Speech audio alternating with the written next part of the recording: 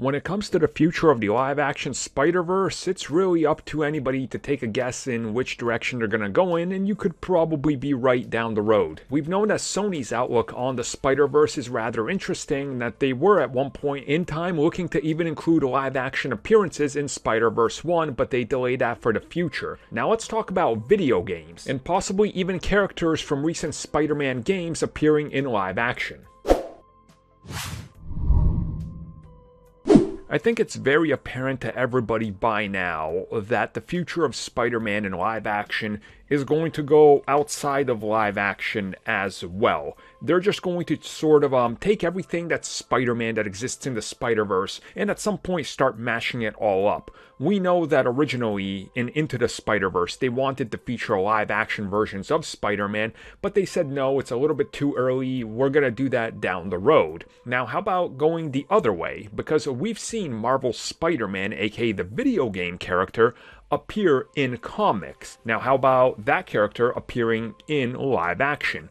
Well, Yuri Lowenthal, who plays Spider Man in the Spider Man PS4 video game, expressed interest in appearing in sequels and even Spider Man 3, saying that he would do it in a heartbeat. He would love to do that if it's a exploration of that role somewhere else in the multiverse, whether it's animated like the Spider-Verse sequel or Spider-Man 3, he's down for it. He wants to do it and he'd be excited to play Spider-Man on the big screen. In my opinion, I only think it's a matter of time till this happens. Sony clearly has accepted that people aren't stupid. I mean, do you guys remember back in like 2010, 2011, even 2012 when they were setting up the Amazing Spider-Man? There was executives out there saying that the Amazing Spider-Man is technically Man 0.5 and 1.5, they're still part of the old films. They're just side stories because they were so afraid to tell people, yes, it's a it's a reboot. That's what it is. Like they literally considered everybody that's in the audience to be a complete idiot.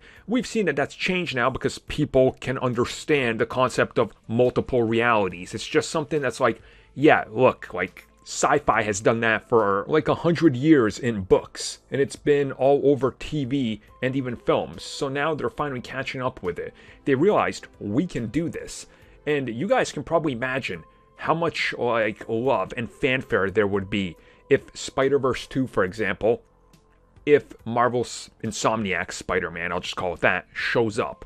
That would drive people nuts. You can literally include the video game CG model of the character in the suit toss him in there, his style would work because we see clashing styles work. That's what took them so long in R&D to get that movie out, and that's why it's taken so long to get the sequel out. So I have no doubt that he's going to appear in the Spider-Verse sequels. Now, live action, that's an interesting one. He'd like to, but that's a little bit more complex, and that's down to uh, Sony logistics. So, what do you guys think? Do you think he's appearing in any of the upcoming sequels or Spider Verse films or whatever they're gonna do? I personally believe it's gonna happen. I think we're seeing that in like the next five years. Like, no way they don't do it. I mean, just the merchandise alone, it, it salivate from the mouth. There's so much sales to be made.